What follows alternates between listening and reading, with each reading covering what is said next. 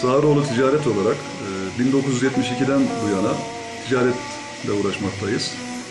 Babamızdan e, beri gelen esnaflık kültürümüz var.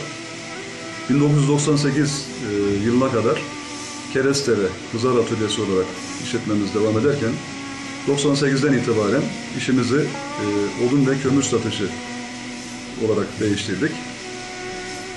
2005'ten itibaren de inşaat malzemeleri, demir, çimento, tuğla, kireç, kum, çakıl vesaire olarak inşaat malzemelerine de girdik.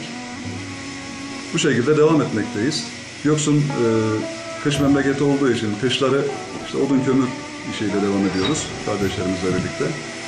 Yaz aylarında da e, Göksun ve çevresindeki köylerimiz, kasabalarımız ve diğer ilçelerin köyleri, kasabalarına da dahil inşaat malzemeleri satışı yapmaktayız.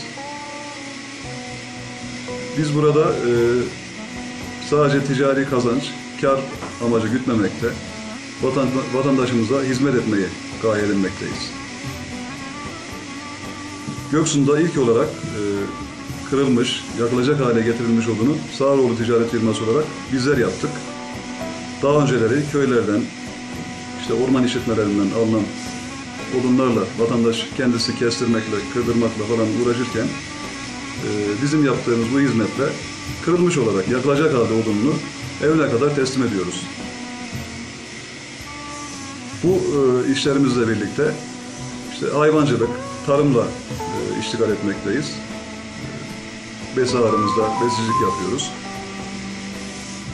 Burada e, gaye sadece ticari kazanç olmamalı, yapılan bir işte insanlara hizmet de olmalı.